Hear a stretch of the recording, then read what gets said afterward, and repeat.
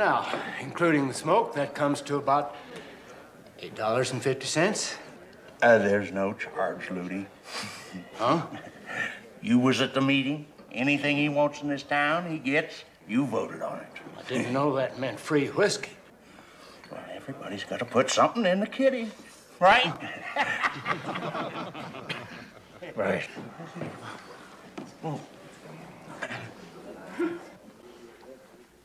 About time this town had a new sheriff. I'm the sheriff. I'm the sheriff. I'm sorry, Sam. You look so comical when he put your badge on the run. I'm not a runt anymore. I'm the sheriff. And the mayor. The man, the mayor. Any objections? No, no, that's fine.